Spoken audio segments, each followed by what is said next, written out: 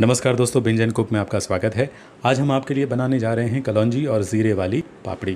वैसे भी बाहर का नाश्ता आजकल हम अवॉइड कर रहे हैं और जितना घर का बना नाश्ता हो, वो ज़्यादा अच्छा है। तो स्नैक्स के लिए बहुत ही बढ़िया उपाय है ये। इसका इस्तेमाल आप ज़रूर करें। लेकिन कैसे बनती है ये पापड़ी, ये जानने के लिए हमारा पूरा वीडियो देखिए। और अगर आपने सब्सक्राइब नहीं किया है तो पहले सब्सक्राइब कर लीजिए, ताकि आगे आपको नई नई रेसिपीज़ मिलती रहेगी। तो चलिए शुरू करते हैं। गेहूँ के आटे से बनी ये पापड़ी बनाने की विधि। तो कलौंजी जीरे वाली पापड़ी बनाने के लिए हमने लिया है ये एक किलो गेहूँ का आटा। कुछ लोग मैदे की बनाते हैं, लेकिन हमने मैदा अवॉइड किया है, क्योंकि गेहूँ के आटे से भी ये बन सकती है। तो इसमें हमने डाला है दो टीस्पून नमक। इसमें हम डालेंगे एक टीस्पून काली मिरी का पाउडर, यानी कि ब्लैक पेपर। एक टीस्पून भुने हुए ज़ीरे का पाउडर। ये एकदम पाउडर नहीं है फाइन पाउडर नहीं है, ये थोड़ा साबुत भी रखा है इसको। तो ये हमने एक टीस्पून डाला। एक टीस्पून हम डालेंगे इसमें कलौजी। इससे इसका स्वाद बहुत ही बढ़िया आएगा। तो इसको अच्छी तरह से हम मिला लेंगे और फिर इसमें हम डालेंगे मोन के लिए तेल। इसमें जो तेल हम डालेंगे वो थोड़ा सा ज़्यादा डालेंगे क्योंकि इसको क्रिस्पी बनाना है। तो इसके लिए हमने लिया है करीब आधे कप जितना तेल। और इसको अच्छी तरह से हम मिला लेंगे। ये तेल और मसाला सब आटे में अच्छी तरह से मिल जाए। उसके बाद ही इसमें पानी डाल के हम इसको बांधने की शुरुआत करेंगे। पानी ज़रूरत के हिसाब से डालिएगा। ये आटा ज़्यादा गीला ना हो जाए और ज़्यादा कड़क ना रहे।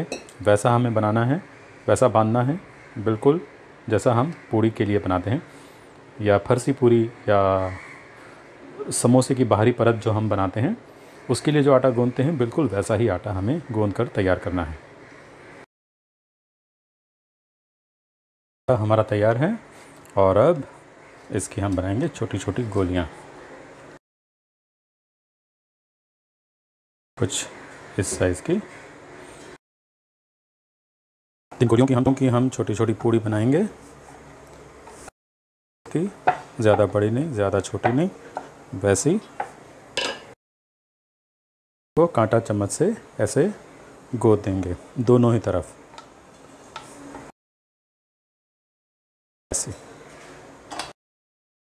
ये हमने कढ़ाई में तेल डाल के गरम कर लिया है, और अब धीमी आँच पर इस पापड़ी को हम फ्राई करेंगे।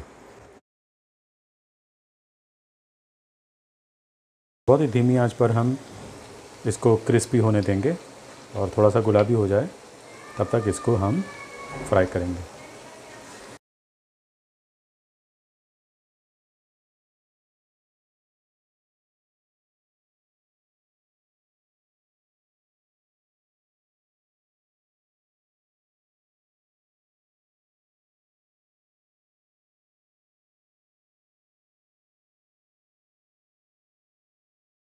तो कुछ ऐसी हल्की हल्की ब्राउन हो जाए, तब तक हमें इसको फ्राई करना है और फिर तेल से निकाल लेना है। तैयार है हमारी ज़ीरा कलौजी वाली ये पापड़ी। स्नैक्स के लिए बहुत ही बढ़िया ऑप्शन है और कलौजी सेहत के लिए कितनी अच्छी है, ये तो आप सब जानते ही होंगे। तो इसका इस्तेमाल ज़रूर करें खाने में अलग अलग तरीक़ों से। तो कैसा लगा आपको हमारा ये वीडियो? हमें लिखकर ज़रूर बताएँ। अगर आपको अच्छा लगा हो तो इसे लाइक कीजिए शेयर कीजिए सब्सक्राइब कीजिए ताकि आगे आपको नई नई रेसिपीज़ मिलती रहेगी। तब तक कीप बिंजिंग कीप कुकिंग